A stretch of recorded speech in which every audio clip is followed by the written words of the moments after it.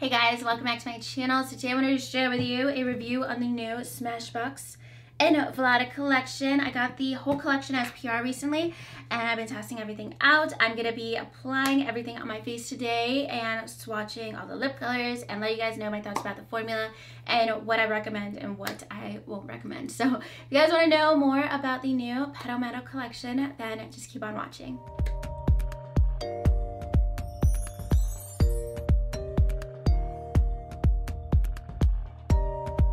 So before I went in with foundation, concealer, and powder, I started off with some of their new primer products. And this is the Petal Metal Shimmer Spray. It comes in the same kind of bottle as the primer water, but it's a very different um, kind of texture. It's a lot thicker, and it's more of like a gel shimmer formula. So every time I've applied it, like I go in like I do with the primer water, and it's definitely too much product. You just need like one or two pumps of this because it's more of like a thicker formula. It's kind of like a gel-like consistency and it's definitely very dewy. It almost reminds me of using like I mean, I've never used this, but like the Farsali um, unicorn drops or something that's like a shimmery oil product. It's not greasy, but it has definitely like a moisturizing feel to it. So even if you do apply it too much like I've been doing, um, it's not going to be too much of a big deal because you're not going to feel like oily or greasy.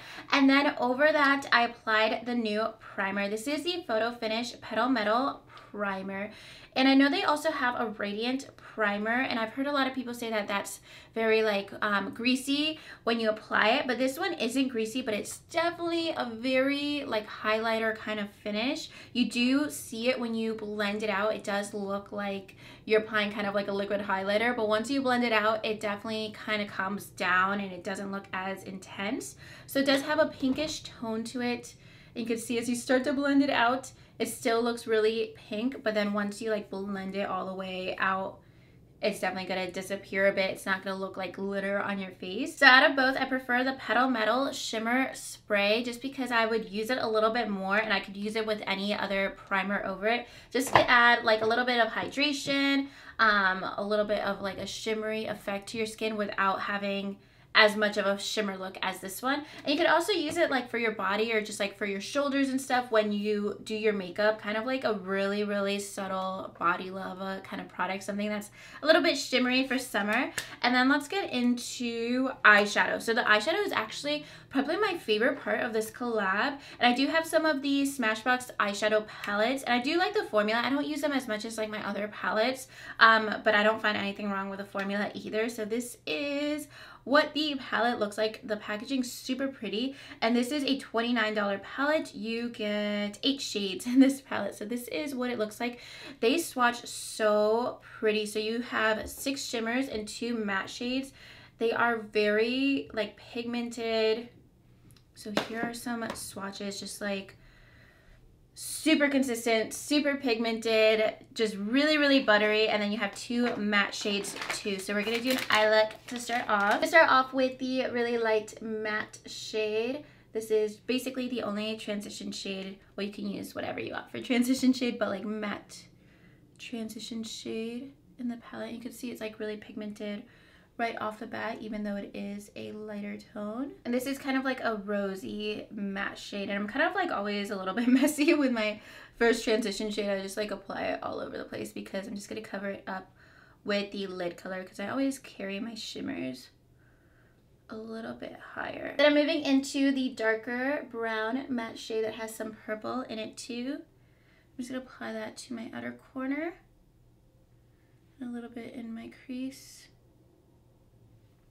Don't want to apply too much because I'm just going to do shimmer all over the lid. I'm just going to go in with a smaller blending brush just to kind of pack that on a little bit more precise. I'm going to go in with the purple shades. I'm going to start off with this lighter one and my brush is dry just so I can see how it goes on with a dry brush but I will also wet this shadow. So I'm gonna have it be a lot more foiled and go in with some Fix Plus on my brush. That shade ends up looking super metallic with a wet brush.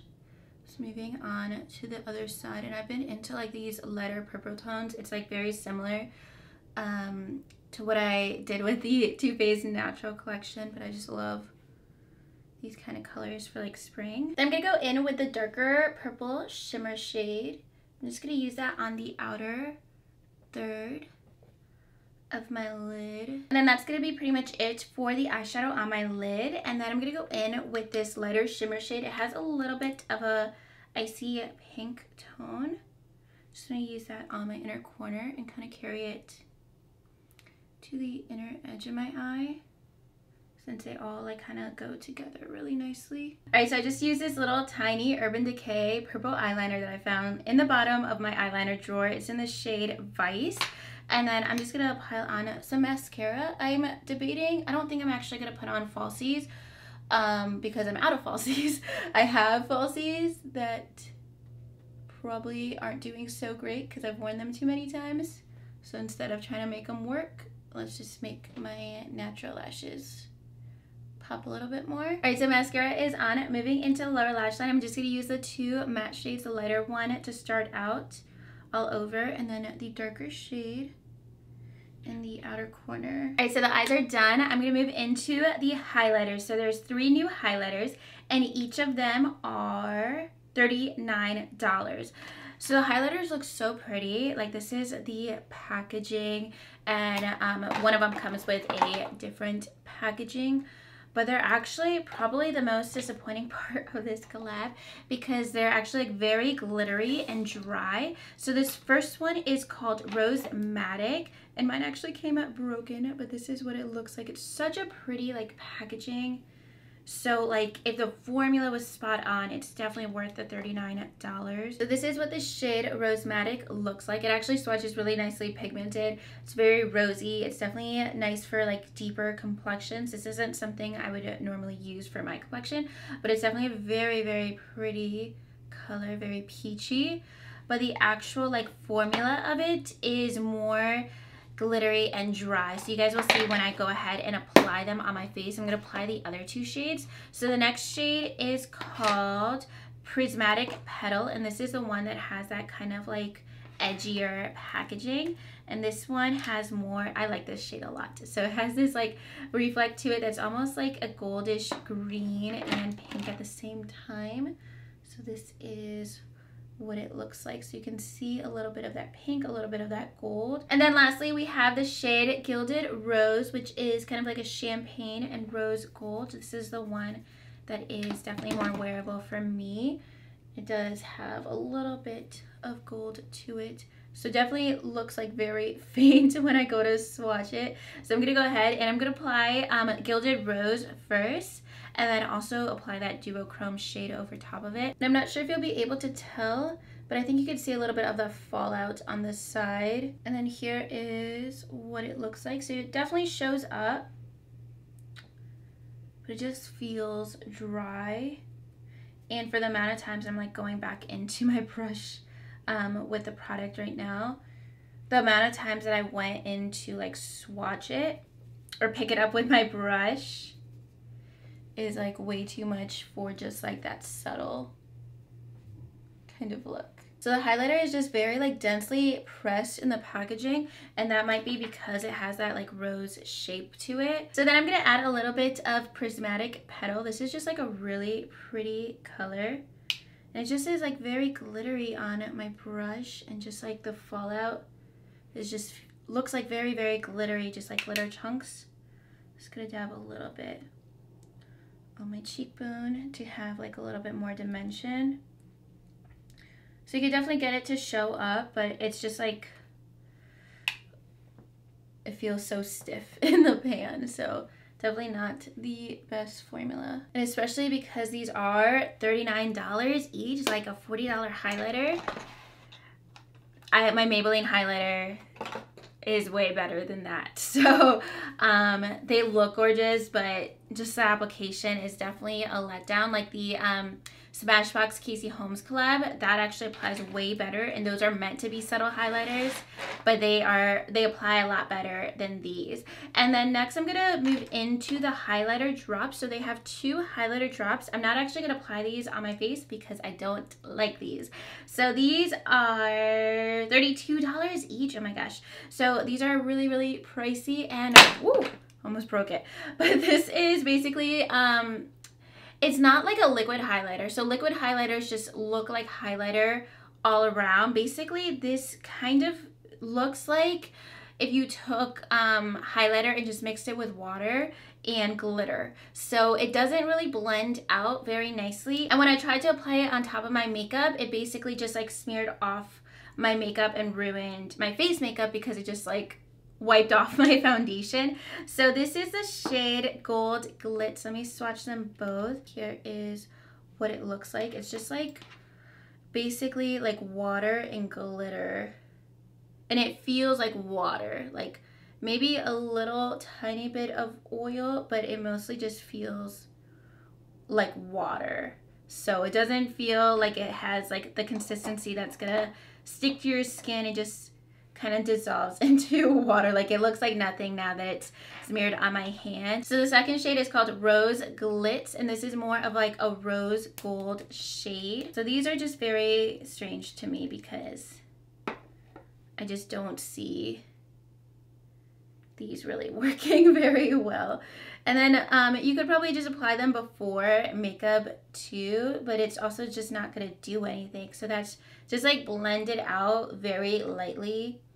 It just looks like my hand is wet. Like it doesn't look like there's makeup on there. So um, I would definitely avoid those. Like the shimmer spray and the primer do a lot more for a glowy effect compared to those shimmer drops. And it's also just feels like a water consistency. So at first I thought maybe I could like mix a drop or two into a foundation, but I feel like it's just gonna ruin the consistency of the foundation because it just feels like water. It doesn't feel like a makeup product.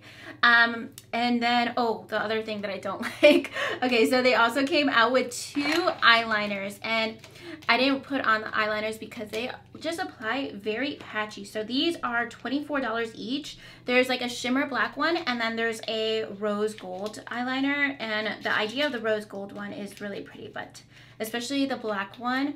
I tried it out without makeup and just swatching it on my hand over and over and I didn't want to take the risk of doing it with makeup because it just kept applying like very streaky and patchy. So this is the Black Rose eyeliner. It has a thicker tip to it and it's more of a felt tip too. And there's like a rose gold shimmer in it. So this is a swatch and I kind of pressed it down a little bit hard. So kind of makes it look a little better than it is every other time that I've applied it. Let me just swatch it a couple more times like because you're not going to get a consistent, um, really dark, and you could even see in that first swatch, like it's drying down a little bit patchy. You're just not going to get like a really nice, precise black line with that. It just looks like really, really, really watered down. Like it's not very nicely pigmented. And this is actually a really pretty color. And it just feels like very watery. So I feel like it's just like a little bit too messy. I think this would be good if you're doing something kind of like a cut crease and you want to like carve it out maybe. Um, but just for like an eyeliner, it just is too i guess like too wet. Like it feels like too messy and there's not like a lot of control in trying it out. Okay so next we have six lip colors. So we have three of the Be Legendary liquid lip which is more of like a creamy formula, more of like a velvet lip. And then we have three of their metal liquid lipsticks. Smashbox liquid lipsticks are one of my all-time favorite formulas. I wear them all the time. I'm going to start off with the Be Legendary liquid lips. I'm going to swatch them all on my lips. And I'm going to start off with the one I actually already have. This is like already in their liquid lip collection. I actually really like this shade. Out of all of the, the Legendary liquid lips, this is probably one of my favorites ever. Um, so this is the shade Petal Metal. This is an awesome lip topper. Anytime I put this on, I feel like Zenon. Alright, so that is Petal Metal. It looks like I just have frosting all over my lips. It's a little bit much, but if you use it just like on the center of your lips with another lipstick, it looks really pretty. I never wear it like this, so this looks like kind of crazy to me, but that is what Petal Metal looks like. In certain lights, it kind of looks like good, like it looks pretty, but then just like normal, it kind of looks a little bit weird on me. So I still like it. I still wear it, but I don't wear it like all over my lips. So the next shade is XO Vlada, and this is more of like a chromy rose gold color. I just put foundation on my lips. That's why it looks a little bit crazy. And this shade is a bit more wearable. All right, so that is XO Vlada. I definitely like that shade all over. I think that's really pretty. I don't know if I, like I haven't worn metallic lips in forever, but that's actually a really pretty shade. And I think on uh, like darker complexions, I think that looks a little bit more wearable. And I just really like this shade. That's really pretty. I think I have a lot of shimmer going on right now, so I probably do like the most minimal eye look but I think I definitely like that shade. Next we have the shade Rose Magic. I swatched this shade the other day and I wasn't the biggest fan of it. Let's see what it looks like. I just applied that shade. It's super messy. I feel like I just missed my lips completely. But this is the shade Rose Magic. It's definitely very rosy. It's not my favorite shade on me. Maybe with like a completely different makeup look because it's not as metallic for sure. Even as the other two shades, it's not as metallic. All right, so moving into the metallic liquid lipsticks, I'm gonna start off with the shade Desert Rose, which is the darkest shade. It's more of like a really metallic pinky shade. That is Desert Rose. I think for the metallic liquid lipsticks, if you want something that's more subtle compared to the Be Legendary lips, that's what you're going to get with this because it does dry down like a little bit more matte and the Be Legendary lips look like really, really glossy. So you're going to get like that metallic look and that glossy look at the same time. But this is definitely a little bit more subtle. I don't like it at all with this eye look, but I would definitely wear this shade again because it's not like too dramatic. Next we have the shade XO Vlada, which has more of like that copper rose gold. So this is the shade XO Vlada. I might actually put this shade back on in just a minute. Um, I feel like I have a lot going on right now, but this is probably one that I would wear the most out of all three shades because it's definitely a little bit more wearable.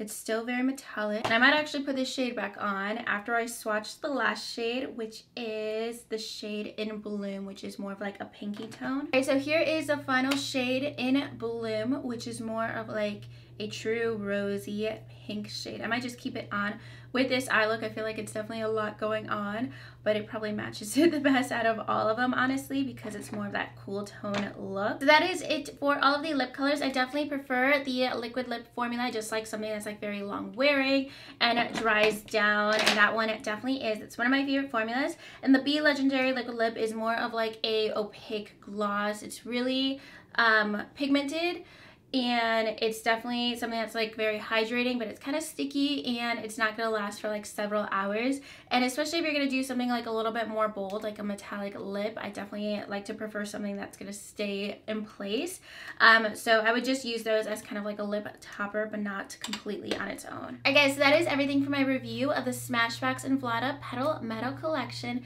There's definitely a lot of misses in this collection for me which is a huge letdown because I was really looking forward to especially the highlighters in this collection because they look so pretty. Just the packaging and just the layout of them. They look so like high end and gorgeous but the formula is very powdery and dry to me um, I'm wearing two highlighters right now and I build them up a ton and it's still kind of like it took forever just to get a like normal highlighter look, nothing too dramatic.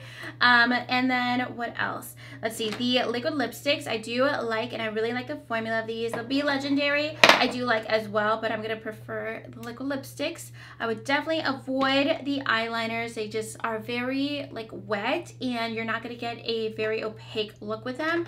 The shimmer drops I just don't even know what to do with these. I don't like them at all. The primer is fine if you want like a shimmer primer. The primer spray I actually really like, but it's kind of like an extra step in your makeup routine. It's not anything that I was like missing in my makeup routine. I kind of wish that they did more of like a um, glowy setting spray instead of the shimmer spray because it's not something that's gonna really show up or really affect your makeup too much once you apply like your foundation and everything else. So it is hydrating, but um, I rather just use a primer compared to this. So I'm gonna keep using it, but definitely not a necessity. The eyeshadow palette, really love. Um, I would recommend this out of everything in the collection. I really like the colors, really like the formula, very, very pigmented. So I think that is everything in the collection. Definitely let me know your thoughts about it in the comments below. Let me know if you guys picked up any of the products in the comments below too. And if you guys like this video, make sure you give it a thumbs up and subscribe to my channel if you haven't already. And I'll talk to you guys soon in my next video. Thank you so much for watching. Bye.